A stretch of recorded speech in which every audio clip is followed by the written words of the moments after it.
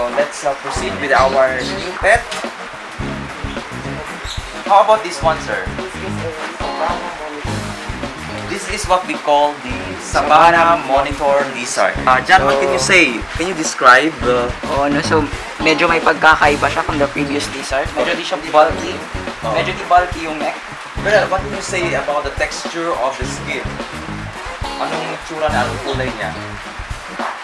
Hindi ko ma-explain. Yung kulay niya is uh, similar sa mud, no? Parang yung kulay lupa or rock. So, ito po yung Savannah Monitor Lizard.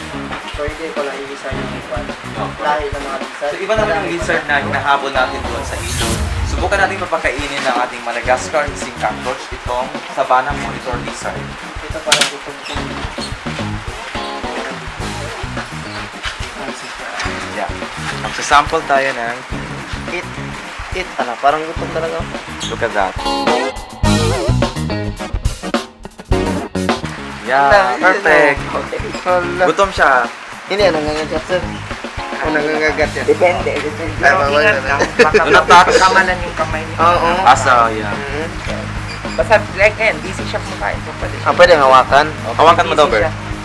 Ah, Yan. yes. Okay, Jan, you touch, Jan. Ito, Okay, it takes courage, but let's go. ano, Okay, nice. Okay, that's it. Ayaw na. ah, He's done eating. dinosaur. Yeah. Tingnan niyo yung mukha niya, parang T-Rex. Same talaga. Same to T-Rex. Or Godzilla. Correct, correct. So, parang extinct.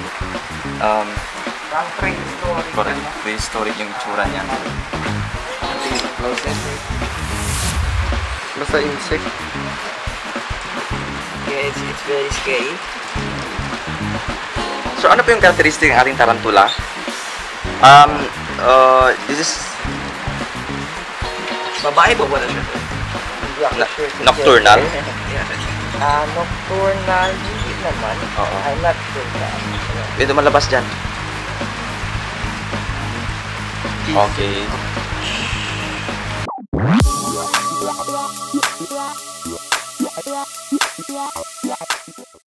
Brighten your business today.